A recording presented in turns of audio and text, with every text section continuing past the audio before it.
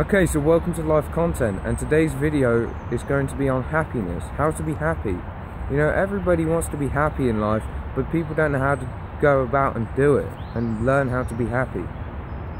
So, I'm just going to talk to you about the main topics about how to be happy, and so how somebody can cultivate happiness in their daily life.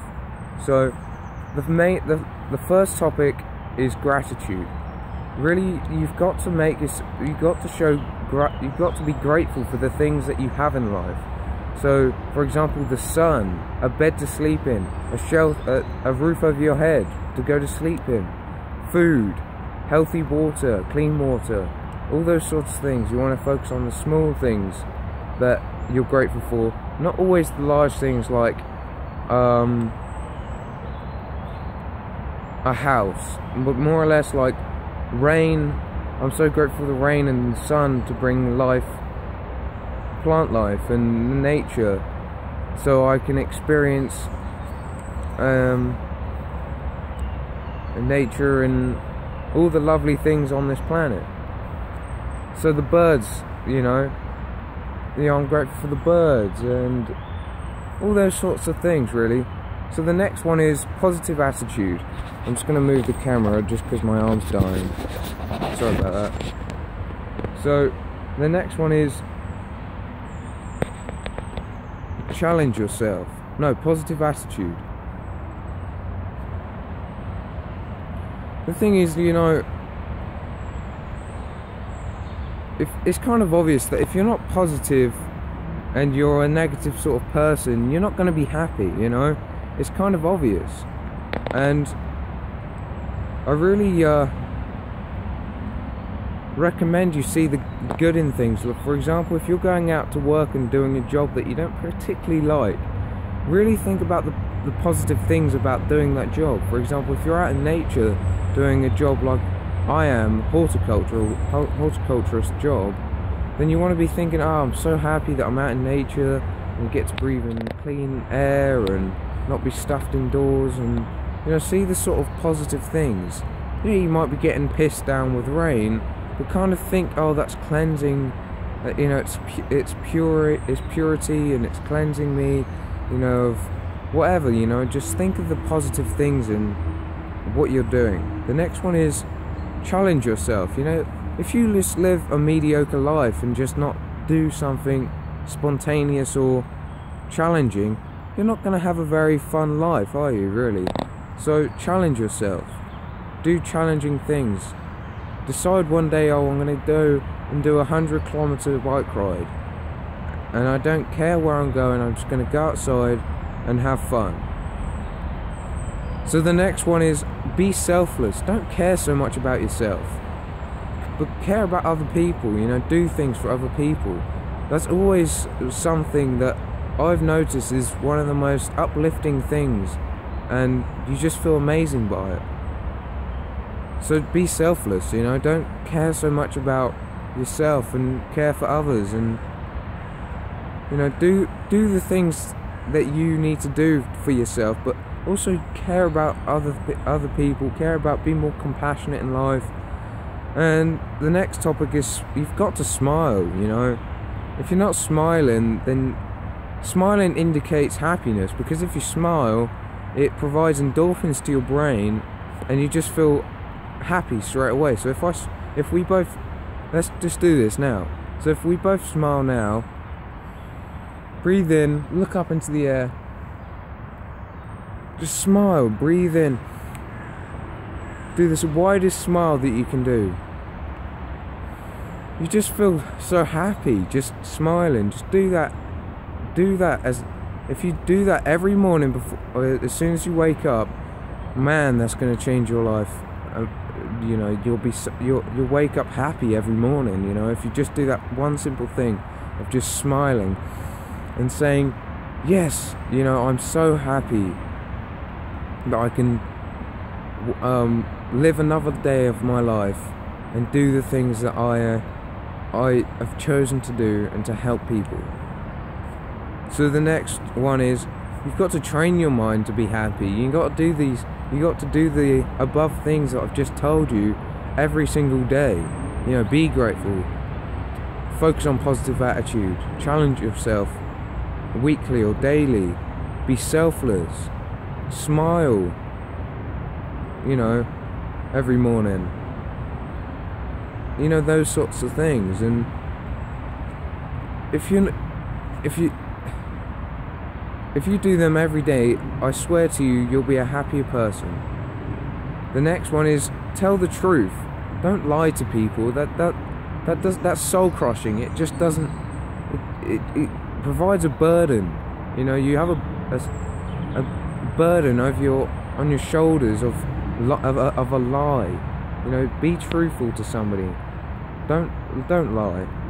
The next one is don't keep secrets. You know, if you it's the same as a lie. If you hide things, it's only another burden to hold on to, and the more you hold on to, the more it's gonna put you down. You know. So don't keep secrets.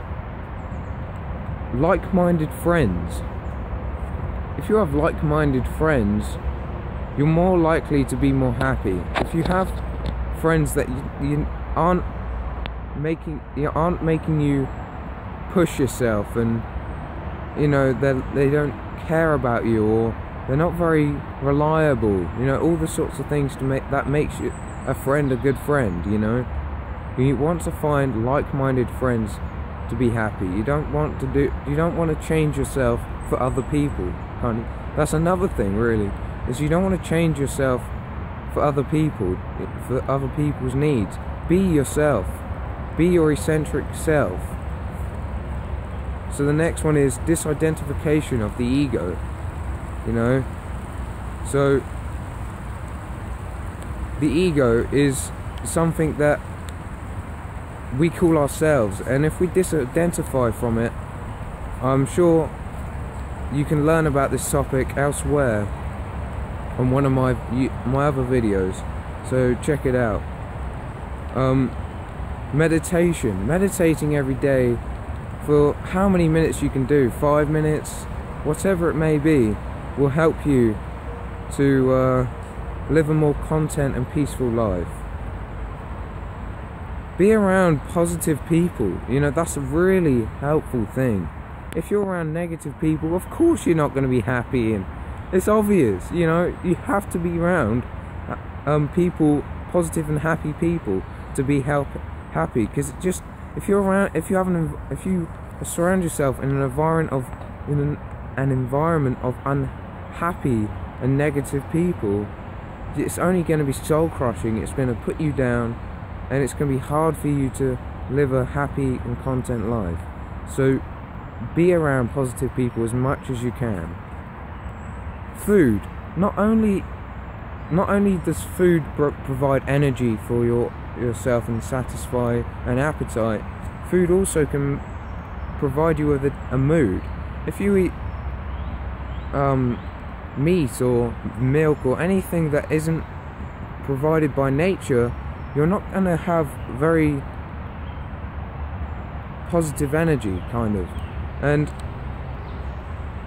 basically, you are what you eat. So if you eat something that's dead, you're going to feel dead. You know, if you eat something alive and natural, you're gonna feel alive and natural and feel happy and that sort of thing. The next one is be outside in nature. Don't don't just sit outside in nature. I'm um, out sit in, inside indoors because it's only gonna demoralize you and not you. It just doesn't feel nice to just be stuck inside all the time, and it's just not fun.